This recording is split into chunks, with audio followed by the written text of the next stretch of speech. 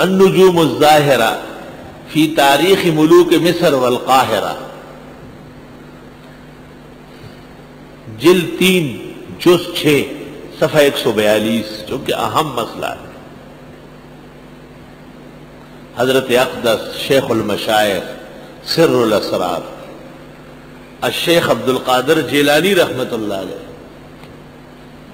उनकी तदफीन मस्जिद में हो गई उबैदुल्ला बादशाह आया इराक का। उसने उलमा को जमा किया और उनसे कहा यह तदफीन कैसे हुई? उन्होंने कहा, नाजायज। तमाम उलमा ने कहा ना जाए मस्जिद में तदफीन ना जाए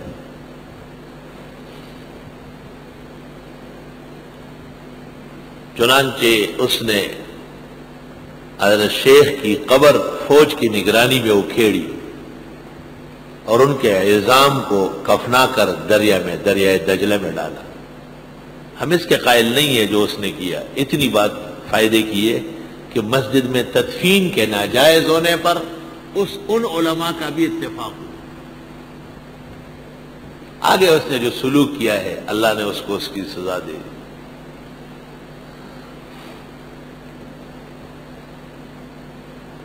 शेख अब्दुल कादिर जिलानी के हालात पर एक किताब याद रखो, बड़ी अच्छी किताब है। अल यवाकीत वल जवाहिर बेतरजमत शेख अब्दुल कादिर। अल यवाकीत वल जवाहिर बेतरजमत शेख अब्दुल कादिर, बहुत बड़े आदमी है। हमारे विलायात तोहीद सुन्नत के सरताज है। अकाबिर उम्मत में से शेख अब्दुल कादिर। अब बुज़ुर्गों के बारे में सुई जन जायज़ नहीं है। बहुत खुला सीना रोशन रखो, ये सब हमारे लोग थे।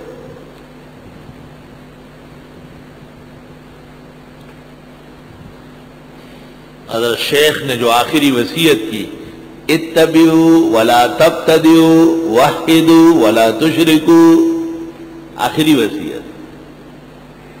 बारह बेटे और बारह बेटियाँ एक जैसे ओलमा फजला उनचास औलादे हुई है, उनचास। पच्चीस ज़िंदगी में मर गए। पुख्ताना हुए ज़ोर दे, डेर दे, पालवाना और बगदाद शाही मीराना हाँ। द बगदाद शाही मीरान खपल माशुमान पिंजवीश मुड़ती। और चौबीस ज़िंदा रह गए, बारह लड़के, बारह लड़कियाँ। सबके सबके बारे उलमा मुहदसिन फुका है शेख अब्दुल वहाब, शेख अब्दुल वासी शेख अब्दुल रजाक। इस किस्म के नाम है सबके। शेख का दर्द अजीब थे, दरमियान में बैठे होते थे। छह बेटे इस तरफ़ छह बेटे इस तरफ़ और पढ़ाते थे तो फिर उनसे पूछते थे कि आप कैसे पढ़ाएँगे? आप पढ़ाइए जरा। शेख फरमाते थे, हा कदल जवाब। तो शेख अब्दुल वहाब कहते, ला। ले, अल जवाब हुआ, हा कदा माशा वमा तकुल शेख अब्दुल रजाक? ला। अल जवाब हुआ, हा कदा तो शेख शागिर्दों कहते तीनों लिखो। फिर इनसे पूछते हैं पहले दाएँ फिर बाएँ।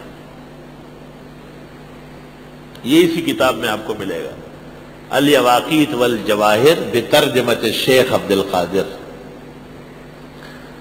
और शेख के दो दीवान हैं, एक फारसी में और एक अरबी में। दो दीवान शेख अब्दुल कादिर के। और इस जमाने के दीवानों को एक का भी पता नहीं। ख्याली उनको ये पता है कि उनके नाम की ग्यारहवीं देते हैं। आई सवाल ग्यारहवीं देसी और ज़रूर देसी। शेख की एक किताब है, उसका नाम है फवायद शरा। फवायद शरा।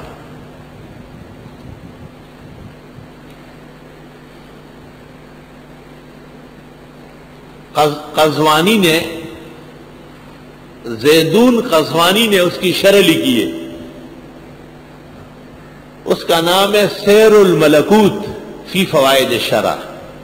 सैरुल मलकूत फ़ी फवायद शरा। बाईस जिल्दों में उसकी शरा आ गई।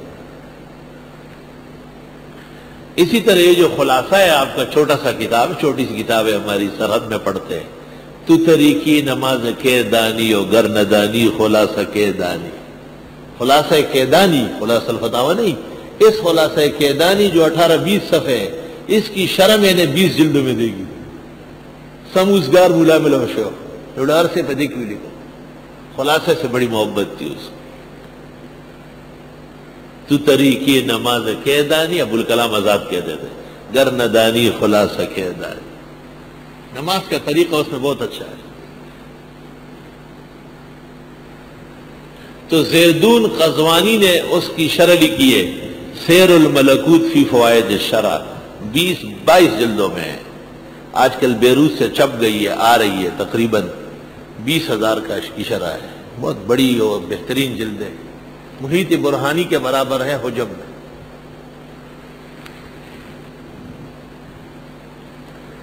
में ला